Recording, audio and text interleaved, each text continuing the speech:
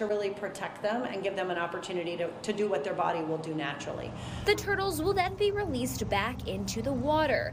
For now, they already have rescued some, but staff is preparing for more. As for how many, the cool thing about turtles is that you never know exactly what's going to happen. Uh, we can predict with the weather and the wind and all of that kind of thing um, that we will definitely have some more. We think maybe tomorrow there will be um, even more than today, definitely. Um, we got some um, maps and some models in from NOAA and from our um, organization as well. Um, and those things are telling us that this will be more similar to some cold stunning that we had in the beginning of 20 2022. Um, so that's like a roughly around 100 patients. Well, if you happen to see a sea turtle that's cold stunned like that, you can contact the Sea Turtle Inc. team. You can also make a donation to their nonprofit organization by visiting their Facebook page. And some school districts are delaying start times again today because of the cold weather. La Joya ISD, Harlingen CISD, Sharyland, Vanguard, and Brownsville ISD are some of those districts, but we do have a full list of those delays over on valleycentral.com. And if you need a warm place to go, we have a list of warming shelters on valleycentral.com as well. The story should be on the front page. If not, just go to the search bar and type warming centers open for residents seeking shelter. Our team has shelters listed by city and some of them are expected to be open until tonight. And early voting starts today for the South Padre Island special election, which is happening next month. Voters are going to elect a council member for place five. The candidates for place five include Lisa Graves, Tally Ragsdale, Brad Robinson, and Jennifer Stout. The election comes after the death of Councilwoman Eva Jean Dalton, and early voting ends on the 30th. Election day is Friday, uh, February the 3rd, rather. With less than a week to go, the top three GOP presidential candidates have shifted their focus to New Hampshire. The state's primary is next Tuesday. Bree Jackson has the latest on the last minute push by candidates to rally support.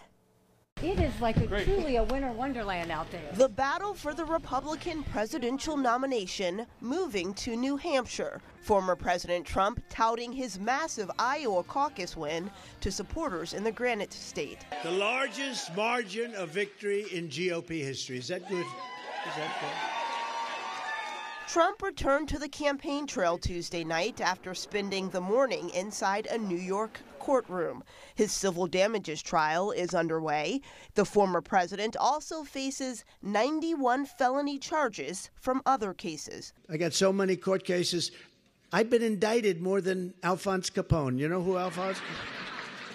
Greatest gangster of all time. Donald Trump. Meanwhile, his Republican rivals are making the case that they should be the party's nominee. Florida Governor Ron DeSantis placed a distant second in Iowa edging out UN Ambassador Nikki Haley. She does not have the ability to build the type of coalition that you need to win a Republican primary, period much less take on Donald Trump. Polls show Haley within striking distance of Trump in New Hampshire.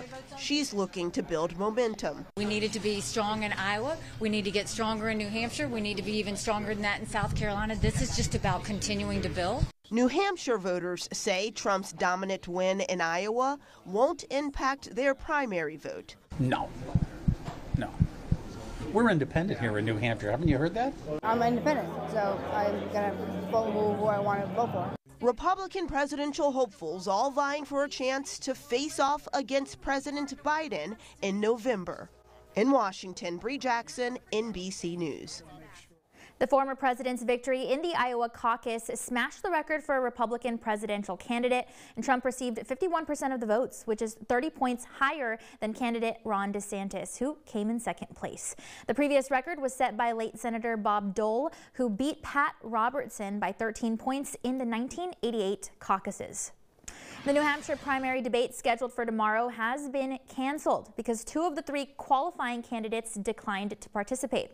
Candidate Nikki Haley said she would only participate if former President Donald Trump would be there, meaning Ron, DeSantis is now the only candidate that is committed. So the host network canceled the event and the next Republican presidential primary debate is currently set for Sunday, just two days before the New Hampshire GOP primary next Tuesday.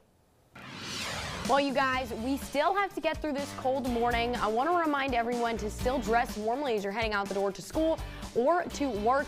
But look at our temperatures this afternoon. We're going to be in the mid 50s. Now, I know for some of you guys you're saying that is still cold, you're not necessarily wrong. But remember, mid 50s is a lot more manageable than upper 20s. I mean, we're not going to be throwing out all these four P's remi- reminders and talking about how you need to stay super warm. It's just going to be so much more manageable and so much more pleasant once we can get to around 11 to 11 a.m. to noon